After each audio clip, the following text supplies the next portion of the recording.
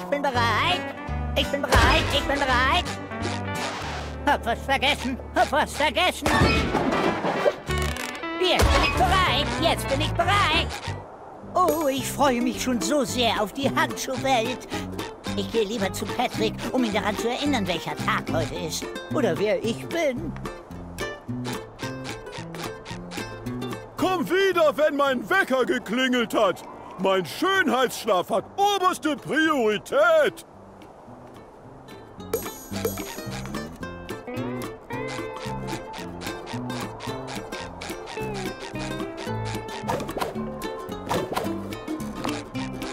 An deiner Stelle würde ich nicht in diese Richtung gehen, SpongeBob. Die Straße wird durch einen großen Stau blockiert. Echt? Aber wie sollen die Leute denn dann ihre Krabbenburger mampfen? Tun sie nicht. Sie nur selbst. Ich sitze hier mit den Inhabern konkurrierender Restaurants fest. Dem Abfalleimer und der krossen Krabbe. Das ist doch die perfekte Gelegenheit, eine Doku über das beste Restaurant Bikini Bottoms zu drehen. Gute Idee. Ein Film über die Köstlichkeiten des Abfalleimers würde glatt Millionen einbringen. Ich meinte die krosse Krabbe. Niemand geht in den Abfalleimer. Es sei denn, er will fragen, wie man zur krossen Krabbe kommt. Jedenfalls, die Behörden sind noch dabei herauszufinden, wo die Nägel, die diese Kollision verursachten, herkamen. Vielleicht kann Mr. Krabs dabei helfen. Letztens hat er eine ganze Wagenladung an Nägeln bekommen. Er kennt sich bestimmt damit aus.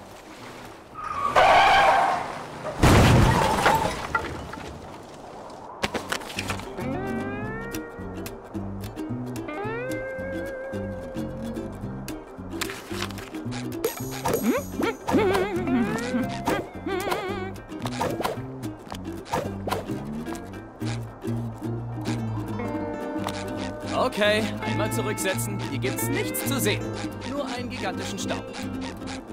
Ruhe! Ich versuche mit geöffneten Augen Mehr zu Jungfrau schlafen. Mann lässt sein unsichtbares Bootmobil wohl gern rumstehen.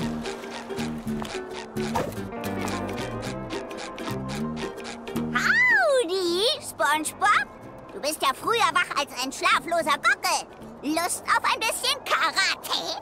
Aber hallo. Allerdings könnte ich etwas Polsterung vertragen, Sandy.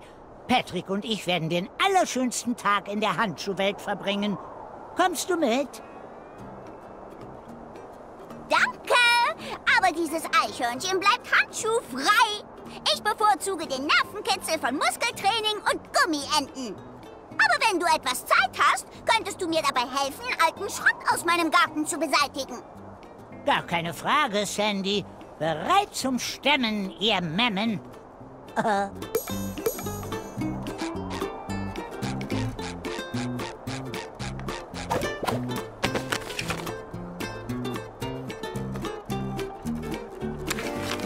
Nicht geschrumpft oder sind diese Tikis größer geworden?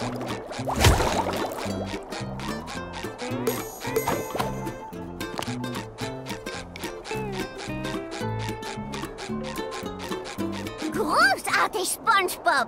Mein Garten ist so schön wie ein Frosch mit Fell. Danke für deine Hilfe und viel Spaß mit Patrick.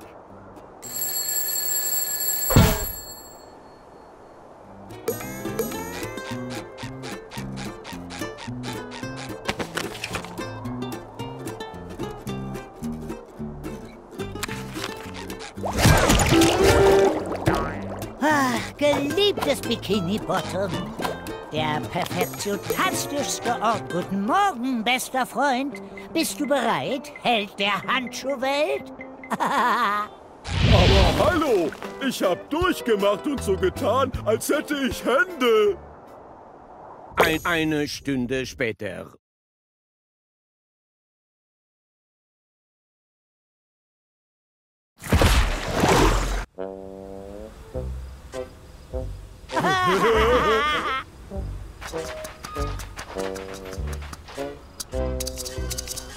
Ah, Patrick, coole Kids.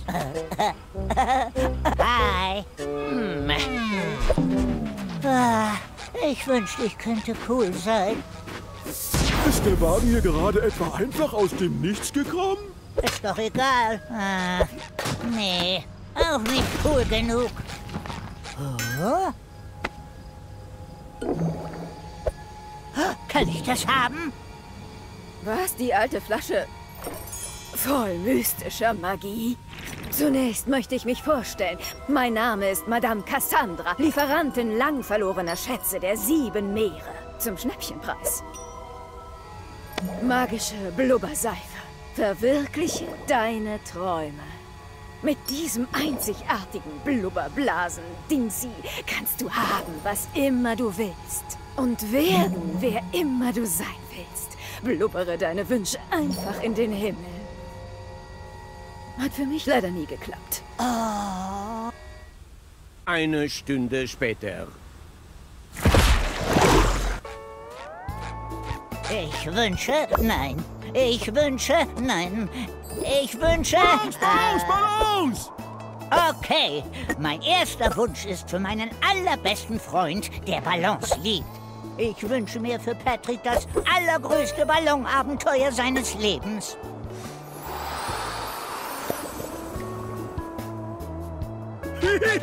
Balance! Ist ein Tag voller Ruhe und Frieden denn wirklich zu viel verlangt? Wie soll ich denn je mein neuestes Meisterwerk vollenden, wenn ihr Clowns mir ständig die Ohren voll kichert? Ich wünsche mir, dass Thaddeus Kunst endlich die nötige Anerkennung bekommt. Was macht ihr beiden denn? Warte kurz. Ich wünschte, die ganze Welt würde erkennen, wie toll Sandy ist. Coole Blase! Drei Stunden später. Hey SpongeBob, was heißt das, wenn da steht, nur die, die reinen Herzens sind, sind der Macht der Meerjungfrau Tränen würdig? Dass es mir bestimmt war, dieses Seifenblasenwasser zu finden? Moment, da steht auch Eigentum von König Neptun. Nicht für Sterbliche geeignet. Sparsam und mit Vorsicht nutzen. Oh, oh. Oh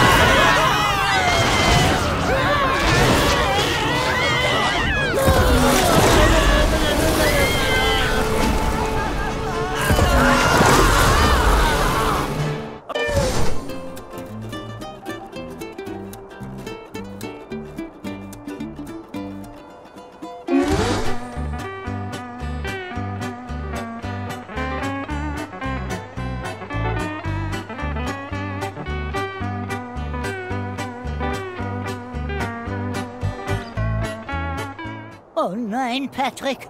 Was haben wir getan? Wer hätte gedacht, dass der Zaubertrank einer mysteriösen Wahrsagerin in einer zwielichtigen Kutsche nach hinten losgeht? Ja, das war absolut unvorhersehbar. Moment mal, Patrick. Du bist ein Ballon. Schön wär's. Wäre ich ein Ballon, könnte ich coole Sachen machen wie das hier. Oder das. Oder das. Siehst du, SpongeBob? Oh, ich bin ein Ballon. Deswegen fühle ich mich in letzter Zeit so aufgebläht. Wir müssen unsere Freunde suchen und schauen, ob es ihnen gut geht.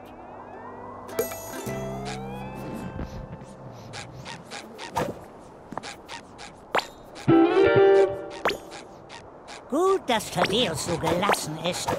Andernfalls würde er sich darüber bestimmt... Mein Stein! Mein schöner großer Stein! Alles, was übrig ist, sind meine... Oh nein! Meine riesigen Klebezettel sind auch weg! Wer erinnert mich denn jetzt daran, mehr riesige Klebezettel zu kaufen? Keine Sorge, Patrick. Die Klebezettel liegen bestimmt irgendwo hier rum. Äh, Oder hier.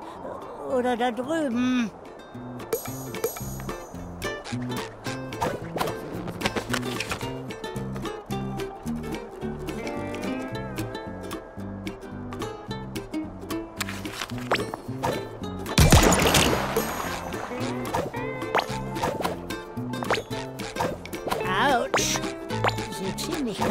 Aus. Warte mal. Vielleicht hat eins von Sandys missglückten missglückten Experimenten dieses Chaos verursacht. Es ist bestimmt alles Ihre Schuld. Nein, ich glaube nicht, Patrick. Sandys Experimente hinterlassen immer den Geruch von Eicheln in der Luft. Alles, was ich hier riechen kann, ist Schwammatem und Seifenblasen. Oh ja, das ist das gute Zeug.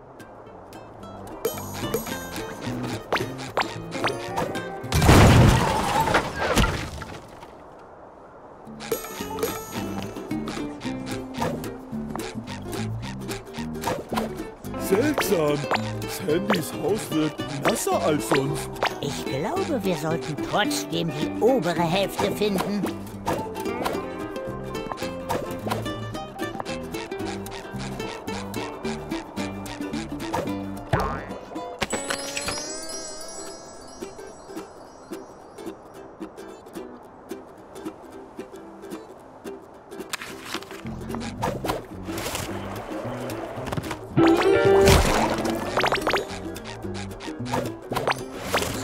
Und klebrig.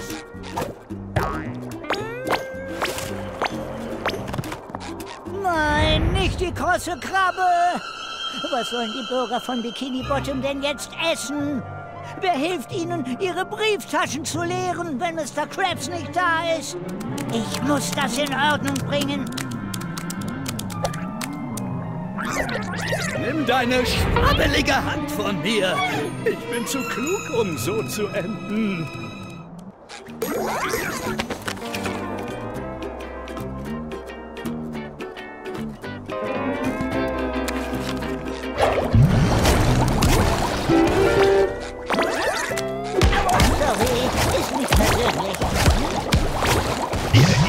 Ihr idiotischen Vielzeller! Euretwegen herrscht im Bikini Bottom das reinste Chaos! Mein Restaurant ist umgekippt und das arme kleine Flöckchen ist weg! Hättet ihr mich doch mitmachen lassen. Das ist doch, naja, genau mein Ding. Korrekt. Oh nein! Sorry, Plankton. Wir kriegen das wieder hin. Ihr müsst das in Ordnung bringen, ehe noch jemand außer mir das Chaos für sich ausnutzt. Korrekt. Warum wiederholst du dich? Hat deine Festplatte mal wieder einen Aussetzer? Inkorrekt. Juhu! Hier drüben, meine kleinen Tölpel. Meine entzückenden Lieblinge. Ihr habt dieses Unheil überstanden. Oh, Madame Cassandra, wir hatten bloß Spaß und haben aus Versehen zu viel magische Seifenblasen geblasen und Bikini Bottom zerstört. Und jetzt sind all unsere Freunde weg und überall ist Gelee und, und, und ich vermisse mein Garylein. Ah.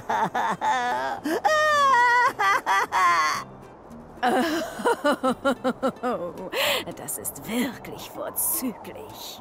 Das ist nicht irgendein Gelee, SpongeBob. Das ist kosmisches Gelee, der Kleber der Realität.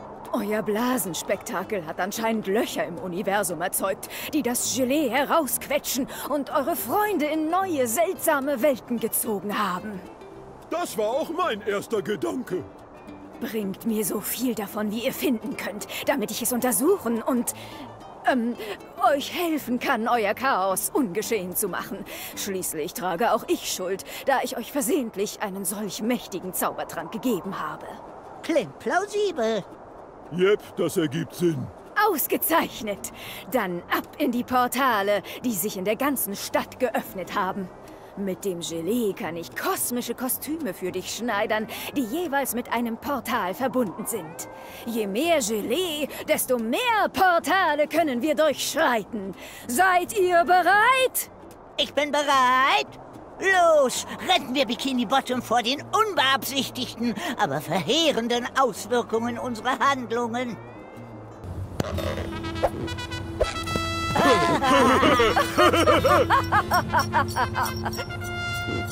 Finde das Portal, das zu deinem Kostüm passt. Sobald du deine Freunde gefunden hast, kehre mit diesem magischen Blasenstab nach Hause zurück.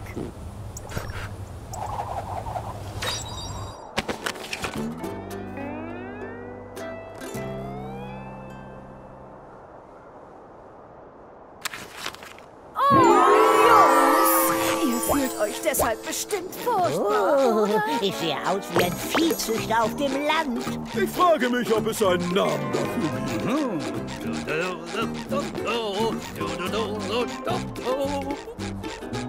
Einer unserer Freunde ist vielleicht auf der anderen Seite dieses Portals.